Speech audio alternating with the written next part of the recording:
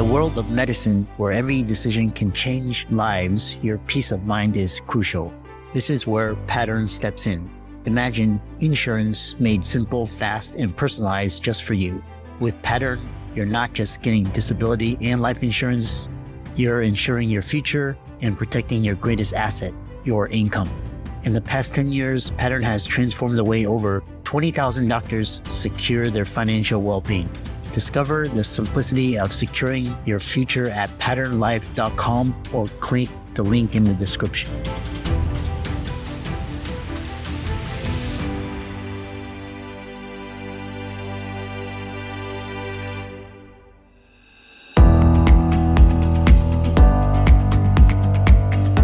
We work hard as physicians to take care of the health and well being of our patients.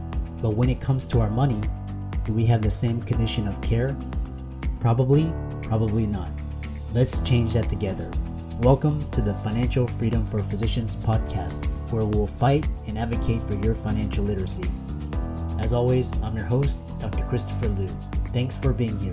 Let's jump into the show.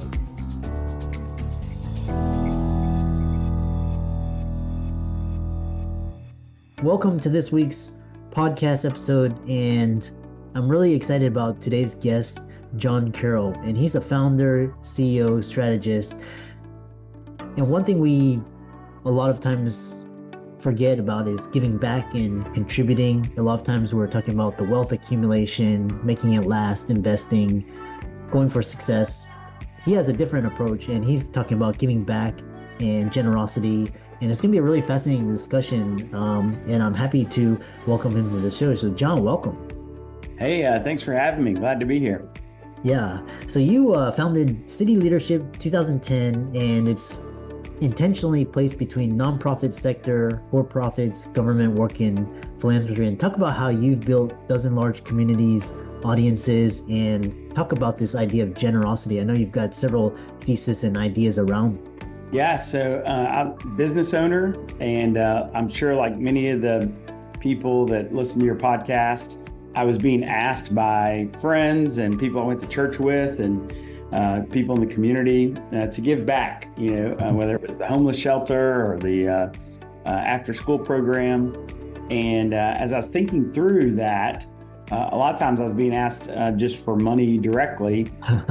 and, I, and I thought, um, you know, some of the times when they were when they were raising money for items, it, it didn't make good business sense. And I think, um, you know, the amount of money that they needed it was more affordable to do it in a different kind of way. And, and the way my company was set up, uh, we had a lot of um, uh, contract workers that we could kind of turn off and on. And uh, obviously, I knew their rates. And, and I thought, um, man, instead of me giving you, um, you know, $5,000, $10,000, $30,000, like, what if I just helped you get that done with some of my uh, contract staff? And that was mainly around digital marketing, video, photography, that kind of stuff at the time. And uh, I started coordinating those.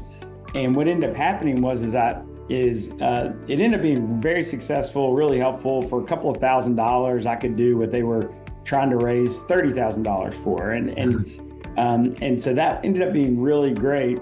But as a business guy, uh, I couldn't pay a contract worker a tax write-off, um, you know, a dollars uh, to be able to do this work, right? Like I had to pay them, you know, just money out of my own pocket, and I wanted the tax deduction, and so I was trying to figure that out, and uh, I couldn't. Even, um, and what I ended up doing is creating a nonprofit. I could donate money to the nonprofit, and then I could then I could hire contract workers to actually do work for nonprofits. Well, that just started as like a little side project in in uh, you know 2008, and then 2010 we really formed the nonprofit, and then uh, man, over the past 14 years, it's just gotten bigger and bigger. We now have 20 full-time employees, and and I sold my company in 2016, and I actually came on staff uh, here um, in 2017. And uh, we get up every single day and try to help the good guys do more good, uh, and try to help uh, other orgs uh, do that work. And and all that's really based out of just really bringing business principles, the stuff that your listeners uh, are using every day to make their own financial capacity grow. We add those to the uh, impact of people's mission uh, more so than I guess their money. And uh, that's how we get our work done in city leadership. Yeah, it, and I love this idea because um, one thing uh, we talk about you because you alluded to earlier, kind of bartering and kind of trading services, uh, which is really a, a, smart way to do it. And um, I was reading this book I can't um, a couple years back where it's like the value of barter could exceed the monetary value. So you know, talking about donations, a lot I get a lot of requests for you know charity and all of that, but um, there's other ways to donate or or to help contribute. So what are those ways besides just a flat out donation?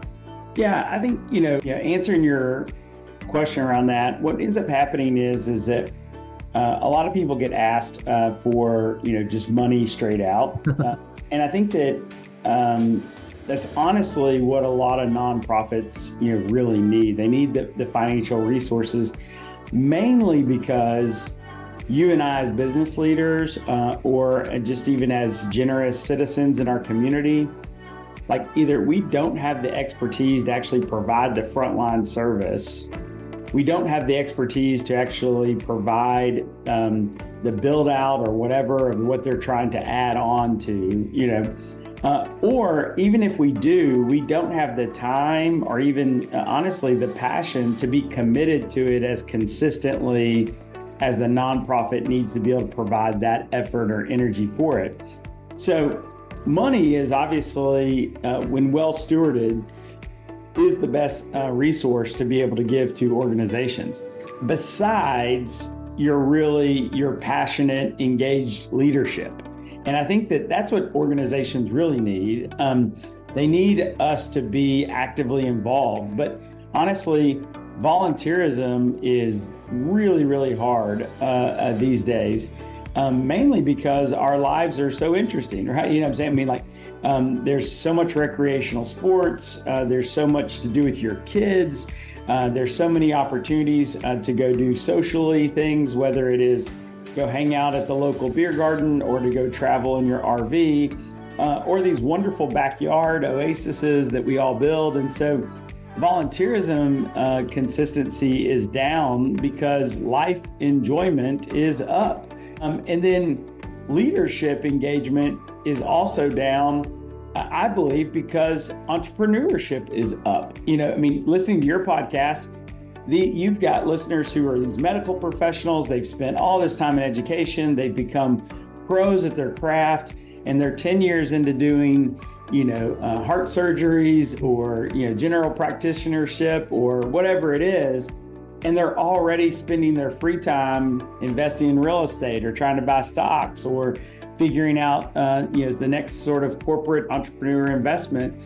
Um, and there's so much upside uh, in our culture these days with that uh, sort of time issue is that it's hard to get these thought leaders actually engaged in these organizations at a level that allows them to actually make a difference and so that's a very complex issue uh, in our society. And honestly, I believe because of that, because of those issues, we are suffering as a society. We don't have generous thought leaders spending enough time to make a difference in that space. They might be adjacent to it a little bit, they might know about it, but they're not actually engaged far enough to be able to do it. And so then what ends up happening is, is they end up giving some of that money they're making away.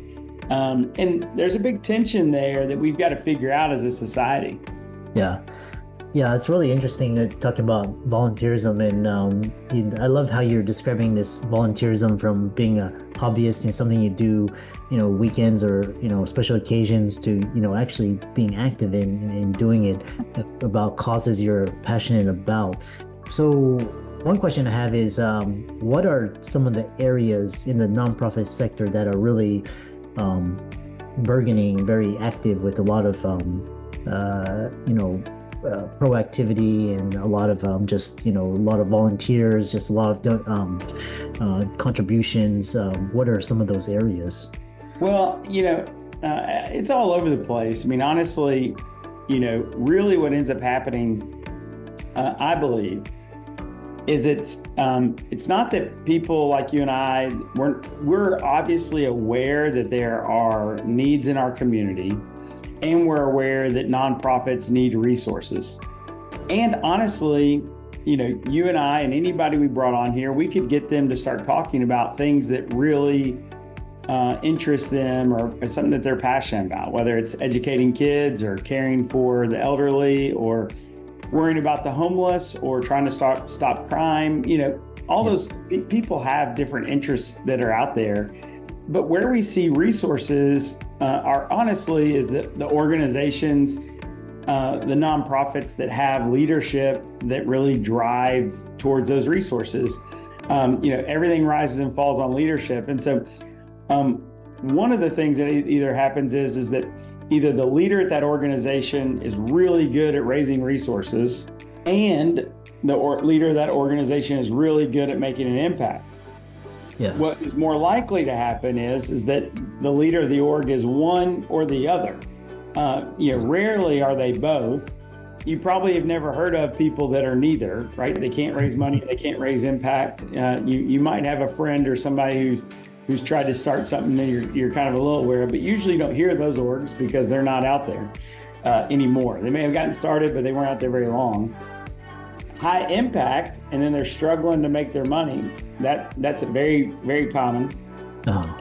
High fundraising and struggling to make an impact. Those are the ones that you probably actually know more of than anything, um, because it is rare to have high funds and high impact. And I think, you know, um, it's a very dynamic deal to have a leaders in that space. And I think you know, historically, you've got somebody who's running the nonprofit who knows how to make a high impact, and you've got a board and community advisors who are able to come on and, and raise and provide a lot of the funding. Um, but with a decreasing, you know, amount of people that are engaging in that sort of way, um, you know, that's less there. Uh, and what ends up happening is, is that uh, our wealth ends up getting transferred uh, either through you know not really knowing if that org is making a high impact. You just got won over um, by uh, a, a, leader there, and so you end up writing a big check and continuing to fund uh, you know that kind of stuff. Uh, or um, it's just something you're passionate about and you throw a lot of money into. And we see some of these really big checks that are coming out. I mean, just yesterday, you know, a woman gave a billion dollars to a, a, college in New York uh, to be able to provide, you know, free tuition for any student that, that goes there, uh, which is really awesome um, uh, and really, really, you know, really great. Um, but we see some of that, and I think some of that actually paralyzes the everyday giver um, and, and makes people like me and you who can't write a billion dollar check feel like, well, they've got it. That's the generosity. But when, when the when the rubber hits the road, there's actually hundreds, if not thousands, of nonprofits in our major cities that really need us to engage. Um, not with a billion dollar check, um, but with maybe a $10,000 check every single year. And not just with a $10,000 check, but really active, engaging board membership. And one of the things I would say for you guys is, is as we think about it, is all of us are really wrestling with what's our return on investment you know, even as a med student, you think, I'm going to invest all this time and money into med school. What's the return on it? You become a doctor that makes some money. Can you make enough money to pay off that debt and have the lifestyle you want? But even now you have that money. Where are my other investments? Real estate, you know, stocks, different kind of stuff. And you're thinking about the ROI. We really challenge people to think about your ROG. What is your return on your generosity? Um. Um, where are you being generous? You know, where where can you give, and what kind of impact are you getting for that? And how do you hold a nonprofit accountable? You know, for that sort of stuff. And I think once you start thinking that way, then you start really imagining generosity at a different way that takes you on a different journey of questions you need to ask yourself and things you need to learn and ways you even spend your disposable income uh, in ways to be able to make an impact for others. I love this idea of return on generosity, and it reminds me of um, another podcast guest I had. He was talking about return on relationship capital. You know, building this relationships. Um, and I'm sure the return on generosity, you measured it in terms of impact, it's you know higher than any sort of um, financial investment like a real estate or stock because um, just you're helping you know hundreds of thousands millions. Um, we were talking backstage uh, and one thing that was really interesting is um, Ray, you were talking about the billion dollar check um, i think it was to, for free tuition for, for medical school in, in perpetuity which is you know fascinating. Um, but you know the rich get pitched all the time you know donate to this donate to that and they essentially you know they don't their time and their energy is finite so and then you talk about this area where they're not given the opportunity to give. I'm really curious if you could elucidate that for the audience. Yeah, I think you know what I was talking about is finding what you say yes to and really building not only your capacity for, um, but building your skills around how to say no really well. Um, so here's the reality. Um, man, if you're a doctor or if you have any sort of business sense or if you have any sort of wealth, um, you are going to get pitched by people. You are going to be pursued and pitched by people for opportunities to be generous. Um, and you, you can't hold that back. You know, they're going to find their way to you. They're um, whether that's directly or through a friend or through something, and, and people are going to ask you to give. And I think that one, I would just say is that knowing how to say yes and knowing how to say no begins with even before you get asked is like you know where where do you have you know psychological ownership and passion of making a difference and i think that really thinking through that is a, is a whole different thing is eliminating everything as an opportunity and really focusing on where do i feel like i have responsibility and that can help you really clear up you know and create clarity around meetings you want to take relationships you want to build and pursuing your best yes and eliminating the amount of times that you have to go through the process of saying no. Because if you're saying, hey, you know what? Yes, I want the environment to be wonderful, but that's not where I feel a sense of responsibility. I feel a sense of responsibility in health. And so I want to donate to local health clinics and to health prevention, health education. That's where I'd like to see and focus my generosity. It could be the exact opposite. But pre deciding some of that doesn't mean you can't have a meeting or that you can't give anything. But it really, when you start having the kind of wealth that you're trying to inspire your listeners to have, having a strategy about where you impact can help you identify the things you say yes to. The reality, though, is, is that where we're at right now as a society, expenses are way up. Cost of doing nonprofits are way up, right? And so, with that, inflation as well is hitting us personally in our pocketbook. And so, gas prices are up, car insurance is up, you know, uh, buying a house, interest rates are up, all that kind of stuff. So, there's a less disposable income as well, even for the wealthy. And so, you know, if their expenses were X, you know, last couple years, well, they're now Y. And so, that gap of $2,000, $5,000, $10,000 a month of different kinds of stuff eliminates the ability to, to be able to give that extra charity in that kind of space. At the same time, the nonprofit needs more money, right? So, like to do the same amount of impact that cost a million dollars last year, well, this year they need 1.1 million. And so they're coming to people looking for that kind of thing. And asking is way up. Nonprofits are asking as many people as possible.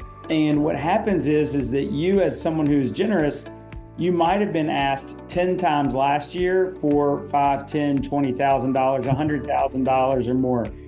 This year you might get asked 50 times. Mm-hmm. And the pain emotionally of being going through that process of because you can only say yes so many times, right? It it doesn't matter. You know, exposing yourself to 500 pitches uh, you know, if you can only give away fifty thousand or two hundred fifty thousand dollars a year or whatever it is, two million, whatever, there's still a limited amount of your resources that you can give away. And so, exposing yourself to 500 pitches when you can really only you know fund or say yes to five, 10, or 15 can become an exhausting enterprise for you and emotionally. what we see is generosity ends up kind of closing the door a little bit, saying, "Hey, I don't want to hear any more pitches. I'm just whatever." I'm just going to give it all to whatever. I'm just going to, you'll kind of write off kind of your hope and your impact and your strategy. It's kind of like just taking all your money and throwing it in a mutual fund and just letting somebody else manage it and just saying, I don't care, I'll just retire with whatever they give. Yeah. But I think your audience is thinking about investment in a way where they're going, no, no, no, I want to be more strategic. I don't want to put all this money in mutual fund. I might put a little bit over there to whatever, but I want to think about you know aggressive real estate or what's going on with these NFTs even or you know how how is Bitcoin doing and they're worried about that and I think that their generosity should be more focused in that sort of area and yeah. so how to be able to think through that sort of thing and so then what you do is is when you get aggressive in that way, you end up getting to hear the right pitches for what you can be generous to. You still have to say no some, but you keep that energy. And then also when you know what you're going to say yes and no to, you save the the operator time. You know, nonprofits, usually the person who's best at executing the nonprofit role is also the one who's best at fundraising. And so they're the ones coming to talk to you about raising money. Mm-hmm. Man, they don't need 50 more lunch meetings to raise money and to hear 48 no's. They got it. They need to whittle that down. And so if you already know you're saying no, don't take their time because uh, they need to go do the work of the stuff and they need to spend time with people who really want to be involved and say yes. So just because they ask, it's not being nice to actually take their time and take the meeting, spend two hours, do whatever. Um, because for you, it's it's an hour and a half lunch and it's hearing their story. For them, it's hours of prep and research and not taking another meeting and not being in their nonprofit making a difference so that they can come there. And if you already know you're saying no, you know, say, hey, I'm not going to be able to give to you. If you'd still like to have lunch, it'd be great. But if you want to invite me to some event that you're having, or I'd love to read more about your stuff just so I can know about because I am curious, but I don't want to take some of your time. No. You uh-huh. think you're hurting their feelings by saying that, but honestly, it's a gift. Uh, and you either you give them their time back or go give charitably. And a lot of times, you know, for me, I find people ask me for a lunch or that kind of stuff. I'm like, hey, I can't do that, but I just went on your website, I read about it, and I went on your giving page, and I just gave you guys 50 bucks. I know that's not much, but I just want to let you know I'm rooting for you and hope you do well. I'm following you on social media, and uh, you guys get after it. Great way for me to say no with kindness and engagement and curiosity but also you know, being really clear that hey i don't have that big check you're looking for. You know my investment's going elsewhere. I love that. I love this idea. We're gonna have to have you on in the future because this power of no um, and it's really very powerful once you understand that and because what you say uh, no to you also say yes to other things and it's talking about this opportunity cost. Um, how can people contact you to check out your nonprofit reach out to you, follow you on socials, etc.? Yeah, so our website is cityleadership.org, uh, cityleadership.org, and you can see all the platforms that we run around here, including Give 901. If you're listening to this and you want to give to something, you can go check that out and, and drop a little money in there.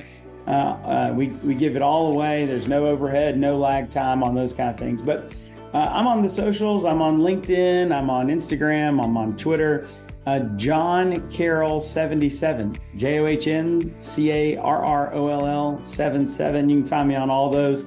Uh, come find me, uh, send me a message, and uh, man, hope you can, uh, you know, grow your ability to be generous uh, as you grow your financial freedom as well. Yeah, yeah, I love that. They're listening, John, for coming on. Give him a like and follow on all his socials. Check out his nonprofit, donate, um, help out, contribute. And with that, thanks so much for coming on. Doctors dedicate their lives to caring for others. It's time someone took care of you. Visit patternlife.com to simplify your path to peace of mind. Patternlife.com, simplifying your insurance journey.